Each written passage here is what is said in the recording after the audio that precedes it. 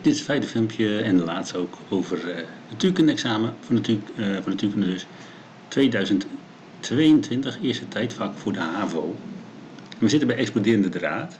In 2016 werd in Eindhoven tijdens het festival Geloven publiek kunstmatig een bliksem met een recordlengte van 80 meter gemaakt, figuur 1. Hier zie je die bliksem. Voor het opwerken van de bliksem werd een dunne draad van koper gebruikt met een weerstand van 35 ohm en de draad was 80 meter lang.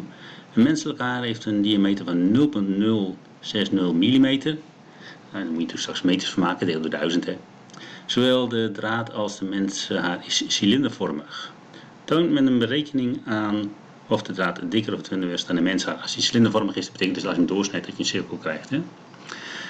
Nou, uh, eerst even methode 1 maar. Het is een draad, dus je gaat de formule voor de draadweerstand gebruiken. Die vind je in de BINAS 35D1. En dat is hem. De oppervlak is de soortelijke weerstand maal de lengte gedeeld door de weerstand. Volgens mij staat hij niet zo in de BINAS. Maar is hij al omgeschreven. In de BINAS staat hij als soortelijke weerstand is weerstand maal oppervlakte gedeeld door de lengte. Ja, is dus uh, omgeschreven. Nou, bij wiskunde heb je geleerd hoe je dat moet doen. Nou, invullen. Um, dan moet je natuurlijk ook nog de soortelijke weerstand van koper hebben. Die staat volgens mij niet in het verhaaltje, maar die kun je wel in de BINAS opzoeken. Er staat er even niet bij, maar dat is in uh, tabel 8. Want koper is een metaal. Ja. Wel even opletten trouwens, want je ziet hier een rho en een aantal van mijn studenten en leerlingen die hebben gedacht, oh dat is de dichtheid. Ja, die heeft inderdaad ook uh, als symbool de rho, maar de soortelijke weerstand is hier het geval. En ja, die heeft ook de, soortelijke, uh, de, symbool rho. Dus je moet hier de soortelijke weerstand hebben van koper en niet de dichtheid. Vandaar 17, 17 maar 10 tot de min negende. Dat is, nou, maar de lengte, 80 meter, staat hier gedeeld door de weerstand, 35. Nou, komt dan uit 3,89 maar 10 tot de min 6 de vierkante meter. Nou, uh, dan kun je, uh, zijn we er dan? Nee, we hebben alleen maar het oppervlak. We moeten de straal hebben. Want hier, of de diameter, dat kan natuurlijk wel. Ja, dus de diameter is beter, hè? want hier is ook diameter. Oké, dan gaan we de diameter bepalen. Als je het oppervlak weet van een cirkel, nou, 36b staat dat. Oppervlakte is pi maal r kwadraat. Dus de oppervlakte is pi maal de straal in het kwadraat. De straal is dan het oppervlak gedeeld door pi en daar dan de wortel uit. Nou, als je dat uitrekent op je rekenmachine, dus die 3,96 maar 10 tot de min 6 delen door pi. Je, en daar, antwoord, het antwoord wat je dan krijgt, daar haal je de wortel uit. En dat is dan deze waarde 1,1 maal 10 tot de min 6. Is dat? Ja? Oké. Moet even dus checken of dat klopt, want ik heb het eerder gezegd niet nagerekend. En dat doe ik eigenlijk normaal altijd wel, maar bij deze vind ik het gegeven. Dus ga het even checken. Dus ik ben zo terug. Zo, ik heb het even nagelezen, nagerekend, dat klopt allemaal precies. Hier komt het 89 maar 10 tot de min 8 meter uit. Die deel je inderdaad door pi. En dan als je daar een wortel uithaalt, dan komt er 1,1 maar 10 tot de min 4 meter uit. Nou, uh, oh ja, dan ben je er nog niet, want dat is de straal. Maar je moet de diameter hebben, dus moet je even verdubbelen. En dan blijkt die 2,2 maar 10 tot de min 4 meter te zijn. En dat vergelijk je dan met die 0,06 uh, millimeter. En dan blijkt dus dat uh, de draad dikker is dan dat. Nou, hier hebben ze een variant erop toe. Dan gaan ze dat ook de oppervlakte van die draad uitrekenen. En wat ze dan hier doen is van, dan gaan ze de oppervlakte van de, eh, de haar ook uitrekenen. Ook met pi r kwadraat, alleen maar dan met de gegevens van, van de haar. Dan kom je op een bepaalde waarde, 2,8 maal 10 tot de min negende. Dat is minder dan de oppervlak van de draad. Nou, de conclusie natuurlijk. Het is belangrijk dat je, dat je die conclusie, uh, dat de draad dikker is dan de menshaar, dat je dat expliciet opschrijft. Expliciet opschrijft. Als je dat niet doet, dan kost je dat een punt. Hè. Dat laatste punt, hier staat het complete van de berekening. Completeren van de berekening en consequente conclusie. Dus die opmerking van dit is dikker dan een mensenhaar, die moet er echt bij. Anders, ja, anders verlies je dat laatste punt. Dat is jammer, want je hebt al het werk eigenlijk wel gedaan. Dus, Oké. Hier nog een opmerking over science data die hebben een andere waarde voor de soortelijke weerstand van koper blijkbaar dan die 17 van 10 tot de min 9. Hier hebben ze 16,8 van 10 tot de min 9. Zal verder voor het antwoord niet uitmaken. Goed, gaan we verder. Om de bliksem op te wekken werd de draad op een hoge spanning aangesloten. Hierdoor ging een grote stroom over de draad door de draad lopen. Er werd een enorm vermogen van 7,1 maal 10 tot de negende watt in draad ontwikkeld. Neem aan dat de weerstand van de draad tijdens dit proces constant was. Voor het vermogen van, dat in de draad wordt omgezet geldt P is U kwadraat maal R, oftewel vermogen is spanning in het kwadraat gedeelde weerstand. Voor de volgende opdracht leidt dit, uh, deze die formule af met de formule uit het uh, boek en bereken dan de spanning waarop de draad was aangesloten. En dan hebben we natuurlijk formules nodig voor stromende elektriciteit. U is I maal R. Eén kun je omschrijven als I is U gedeelde R. En een andere formule is P is U maal I. En als je die twee combineert, en dat gebeurt hier, dan krijg je dus P is U I. I is vervangen door U gedeeld door R. Ik zou hem erachter hebben gezet, want dat is hier ook goed, maar maakt verder niet uit. De volgorde, het is vermenigvuldigd, dus de volgorde mag uh, verwisseld worden. Dus i is vervangen door u gedeeld door r maal u. Nou, dat is dus u kwadraat gedeeld door r en dat is precies wat je aan moest tonen. Nou, gaan we dat invullen. p is u kwadraat gedeeld door r. Invullen uh, 7,1 maal 10 tot de 9, die was gewoon gegeven. De weerstand was ook gegeven, dat was al eerder gedaan, hier 35 ohm. Oké, dus die staan hier allebei ingevuld. Hou je u kwadraat over. Nou, u kwadraat is dan die twee met elkaar vermenigvuldigd. En de wortelruiter staat hier ook. Let even, als je die rekenmachine doet, wel even tussen haakjes zetten. Anders gaat het niet goed. 5,0 maal 10 tot de... Kijk even op papier, want het is erg klein op mijn scherm.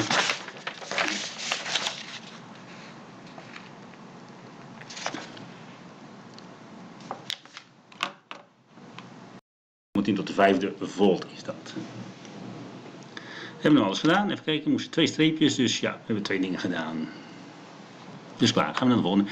Tijdens dit proces bleef de weerstand van de draad echter niet constant. De weerstand nam toe met de temperatuur, hoe heet dit? Uh, weerstand, dat is een beetje, dat is een PTC. D.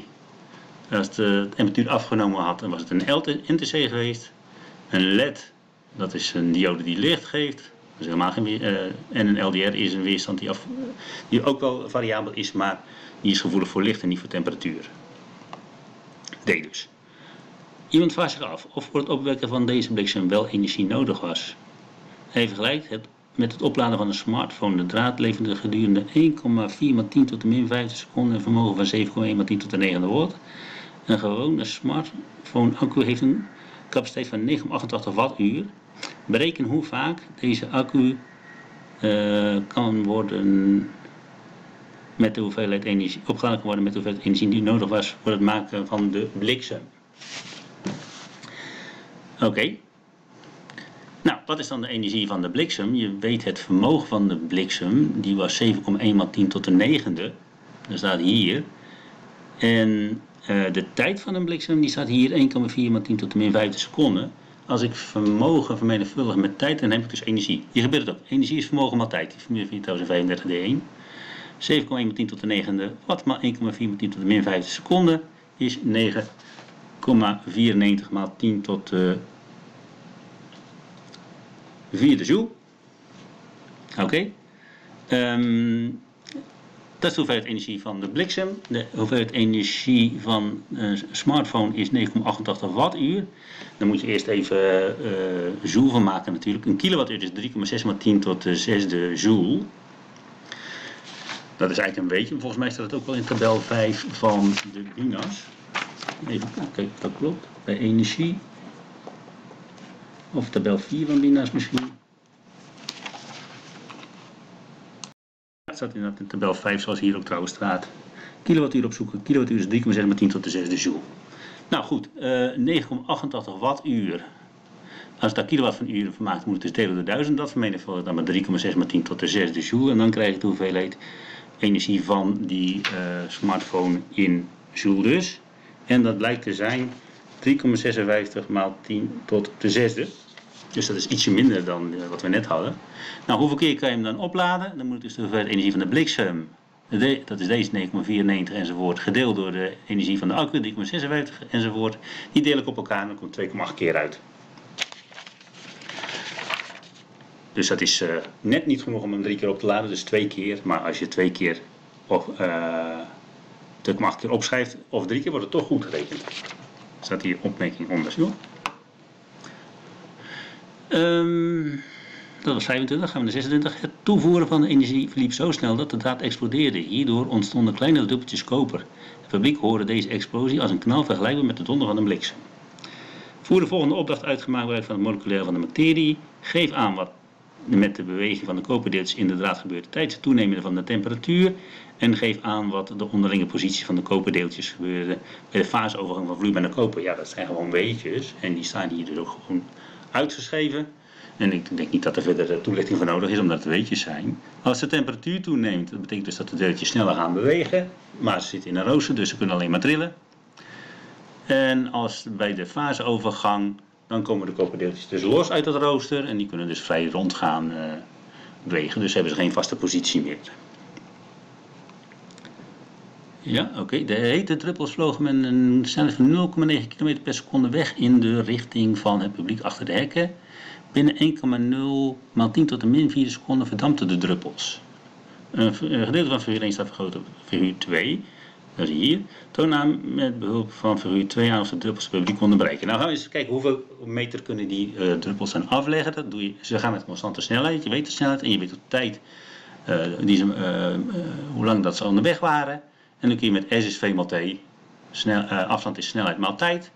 Die komt uit 35A1, gewoon een formule voor de beweging met constante snelheid. Kun je dan uitrekenen hoeveel dat het is. 0,9 km per seconde, dus 0,9 maal 1000. Dat is dus 900 meter per seconde. Maal, en dat 1,0 maal 10 tot min 4 seconden lang. Dus die twee met elkaar vermenigvuldigd. Nou, hier gebeurt dat 0,9 maal 1000 maal 1,0 maal 10 tot de min 4 is dus 0,09 meter. Dat is 9 centimeter.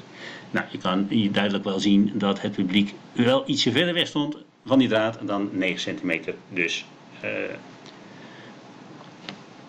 het kon dus uh, niet worden, het publiek kon niet worden bereikt. En ook hier geldt weer, als je alleen maar opschrijft 0,9 meter en je er niet expliciet bij dat tussen de het publiek niet kunnen gebruiken omdat die verder weg staan dan die 9 centimeter, dan krijg je dat tweede punt dus niet. Dus je moet dat echt, uh, die conclusie moet je echt expliciet bijvoegen. Goed, dit was het examen. Ik hoop dat je er wat aan gehad hebt. En als je een examen moet gaan maken nog, dan wens ik je veel succes. Zoals je ziet, uh, deze video's zijn onderdeel van een heel kanaal met allerlei andere video's. Met name voor HAVO en Atheneum. En wie weet kun je er een keer op kijken. Misschien hebben we er wat aan. Of hebben we ooit al eens een keer aan, wat aan gehad. En even bedankt voor het kijken en misschien tot een volgende keer.